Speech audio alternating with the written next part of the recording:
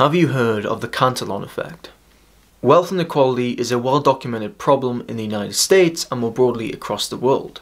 So I think that the wealth gap and the opportunity gap is the biggest issue of our time. This rise in wealth inequality over the past 30 years has to a significant extent been the product of monetary policy fueling a series of asset bubbles.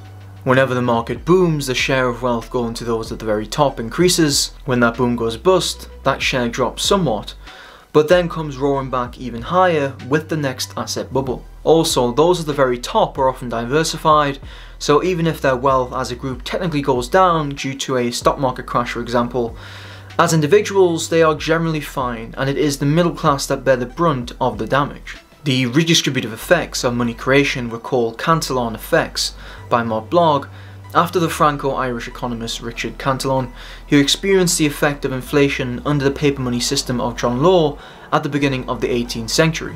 Cantillon explained that the first ones to receive the newly created money see their incomes rise, whereas the last ones to receive the newly created money see their purchasing power decline as consumer price inflation comes about. Following Cantillon and contrary to Fisher and other monetary theorists of this time, Ludwig von Mises was the first to emphasize these Cantillon effects in terms of marginal utility analysis. With an increase in the stock of money, the cash balances of the early receivers of the newly created money increase. Correspondingly, the marginal utility they give to money decreases and the individuals in question buy either investment or consumption goods, thus bidding up the prices of those goods and increasing the cash balances of their sellers. With this step-by-step -step process, the price of goods will increase only progressively and affect both the distribution of income and wealth as well as the different price ratios. In accordance with the Cantillon effect, inflation can increase inequality depending on the route it takes, but increasing inequality is not a necessary consequence of inflation. If it happened that the poorest in society were the first receivers of the newly created money, then inflation could very well be the cause of decreasing inequality, since they get the money first. However, under modern central banking theory, money is created and injected into the economy via the credit route, and first affects financial markets. Under this system, commercial banks and other financial institutions are not only the first receivers of the newly created money, but are also the main producers of credit money. This is because banks can grant loans unbacked by base money. In a free banking system, this credit creation power of banks is strictly limited to competition and the clearing process. Under central banking, however, the need for reserves is relaxed as banks can either sell financial assets to the central bank in open market conditions, or the central bank can grant loans to banks at relatively low interest rates. In both cases, central banks remove the limits of credit expansion by determining the total reserves in the banking system in other words, the commercial banks and other financial institutions are credited with so-called base money that has not existed before. Thus, the economics of Cantillon effects tells us that financial institutions benefit disproportionately from money creation itself, since they can purchase more goods, services and assets for still relatively low prices. This conclusion is backed by numerous empirical illustrations. For instance, the financial sector contributed massively to the growth of billionaires' wealth, as we can see here. One of the most visible consequences of this growth of financial markets triggered by monetary expansion is asset price inflation.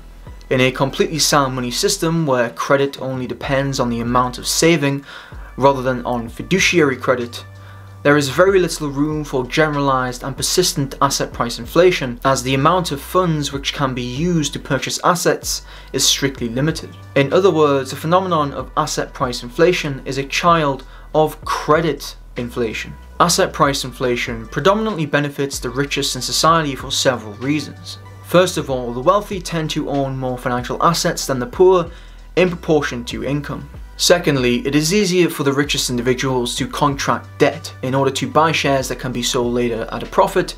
Since credit easing lowers the interest rate and therefore funding cost, the profits made by selling inflated assets bought at credit will be even greater. Finally, asset price inflation coming with the growth of financial markets will benefit those working in the financial sector obviously. It will also benefit the CEOs of the publicly traded companies who will be paid more as the market cap of their companies increases. Hence, the correlation between asset prices and income inequality has been, as expected, very strong. Despite this, many economists have failed to see asset price inflation as a consequence of an inflated money supply.